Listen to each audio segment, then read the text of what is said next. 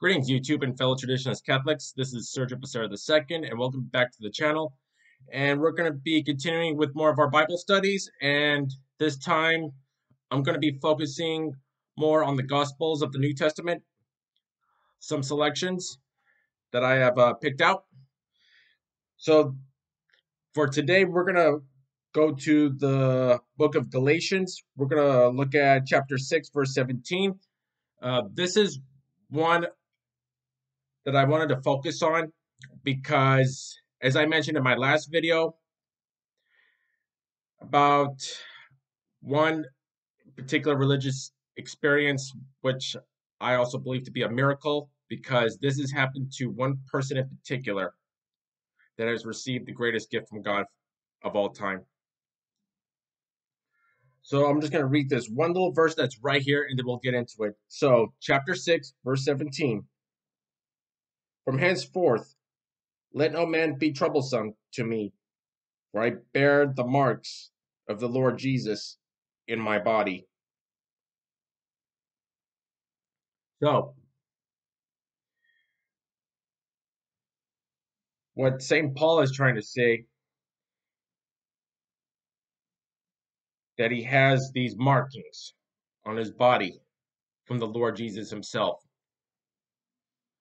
So, this is where I wanted to discuss one particular subject, and that would be which we all have heard of called the stigmata, which is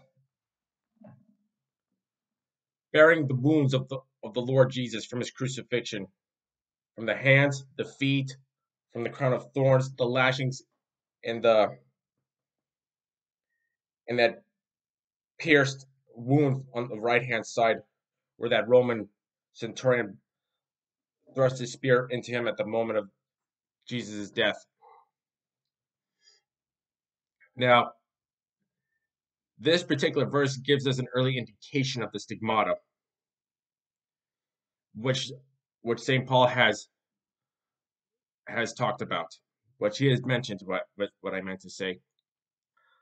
So far, the only person ever recorded, one man going back to the 13th century, was St. Francis of Assisi in Italy. So we're all familiar with St. Francis of Assisi, the founder of the Franciscan order, who spent the rest of his days living a Christ like life, which is living in poverty, living in also living through chastity means don't don't get buried don't do anything else in particular. Learn to live in poverty living a poor life working for god serving god. So as the story goes by the time francis was in his early 40s one day in the year 1224 upon the feast, he, I'm sorry, as Francis was um, fasting for 40 days for the feast day of Saint Michael of Saint Michael the Archangel, one day on the feast of the exaltation of the cross, he saw in the sky this angel, which was which is known as a seraph, which is a six-winged angel, and on and that angel that it showed Christ fashioned to a cross, the crucified Christ, a crucifix. Because it is said that Francis had spent six hours in out in the wilderness, well, out in the mountains, which history says, along with the along with the, another fellow friar that was with him but was far away from him, is what history says. So Francis was praying alone while his uh, companion was uh, waiting for him out of the mountains. And he's imitating Christ's passion with his arms stretched out as if he were to, as if he was, um, well, what's the word? I'm sorry. Contemplating Christ's passion as if he was on the cross. Arms stretched out for six hours. That's when he saw the six winged angel, the seraph, and it showed Christ on the cross. And it is said that beams of light shot from where every market where Christ had been crucified and hit hit directly on Francis's body. The wounds on the hands, the feet, the crown of thorns. Sorry, that's my coffee maker beeping sound. So the wounds on the hands, the feet, the crown of thorns, the lashings, and the side wound. So this was the first ever man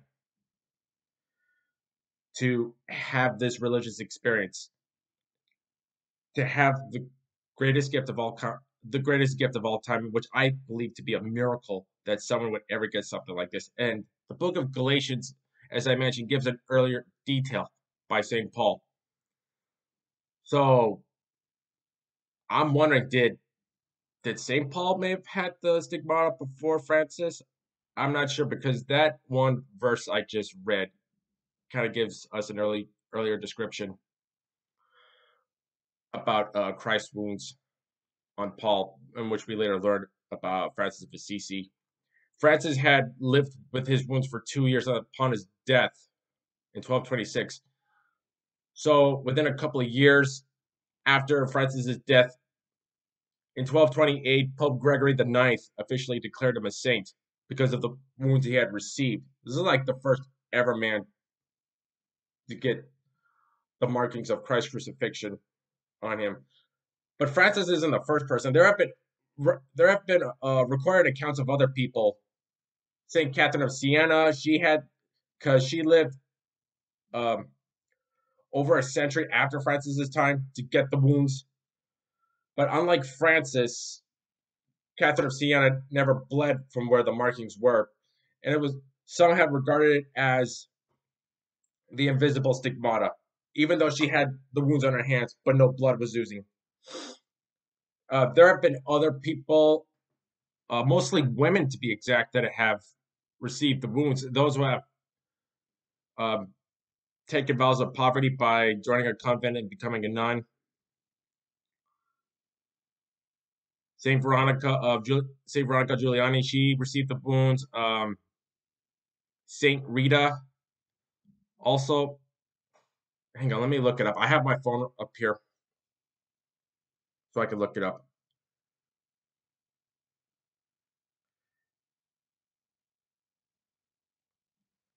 Let me look up the last name.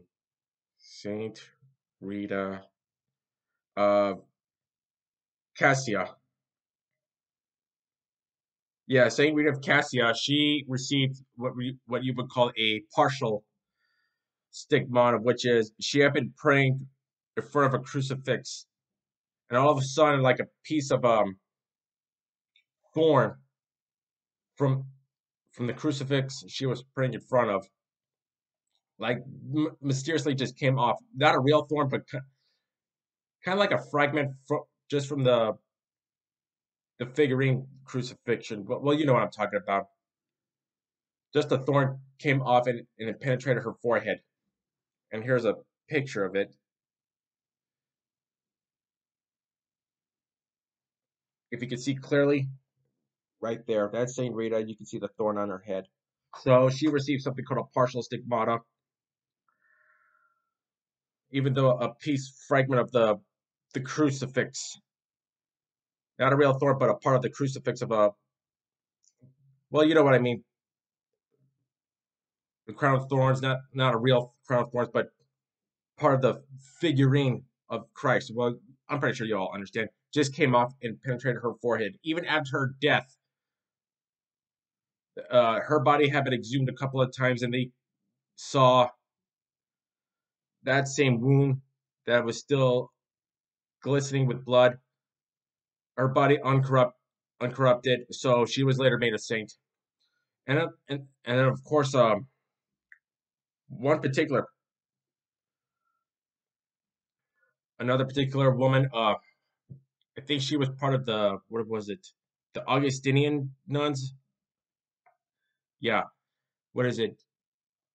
Catherine and Emmerich a German a German nun of the Order of Saint Augustine. Yes, because she too had suffered the stigmata and wrote a book on her revelations and visions of, of Christ's passion. Because I did a video about on this on her book, The Dolorous Passion of Our Lord Jesus Christ, a couple of years ago, uh, a book review that I did. Because she too uh, had suffered the stigmata, couldn't eat, had to live off the Eucharist. So even though some of her books had her name on it, but since she had suffered the wounds, someone else had to write her work for her, including her famous book on her visions of the Passion. And then, of course, there's one more person in particular, uh, Saint Padre Pio, that we all remember because he was a Capuchin monk, which is part of the Franciscan order. He too had visions of the Passion, and then got the wounds as well, because he had lived with the wounds up until his death in 1968. And then there was another woman from Germany, uh, Teresa Neumann, who I would say had the works done to her. Not only had all the markings, but also oozing blood from the eyes. Like I said, there have been like about 300 recorded accounts of the stigmata. I'm not going to get into all into, into all of them, but just some of these particular people who had lived a holy life completely and received the greatest gift of all. So, reading this verse right here got me curious because I have watched and read and watched and watched again this one documentary on YouTube that talked about the stigmata. Of course, it talked about St. Francis, Catherine of Siena, and then um, Teresa Neumann and Padre Pio as well. And then, of, then of course, uh, well, here's the thing: it's not just Catholics who who have gotten the stigmata because this documentary that I watched, you have some Protestants that have said to have received it, but this was like in the 90s. So it's not just Catholics, so it's also Protestants that have that have received it. At least one in particular was a an Anglican deacon, a female Anglican deacon who had received the markings herself, but mysteriously died. No one knows for sure because her body was found in a in a river. The but there was no indication of suicide. So how her body got there, no one knows. But then, of course, a couple of what is it, Baptist Christians that have said to have gone the wounds themselves. So it's not just Catholics who have mostly gotten it. So there have been reports of some Protestants as well that have gotten the wounds. So yeah, so two, well, three Protestants, one Anglican, two Bap- two Baptists. But the stigmata is like one of my favorite topics that I like to research on. So Corinthians 6 verse 17 gives us an early account what St. Paul has mentioned in here. So that covers this video on this topic. So tell me what you think about uh, Corinthians 6 verse 17 and the in the stigmata. I'm sorry I took a long time to to discuss this. Um, forgive me, I have somewhat of a speech impediment problem. Uh, I can say more things clearly in writing than my saying my own words. So that takes care of that. Corinthians six verse seventeen, and given an early depict early description of the description of the stigmata and what I talked about with St. Francis of Assisi and many others who have received the wounds of Christ.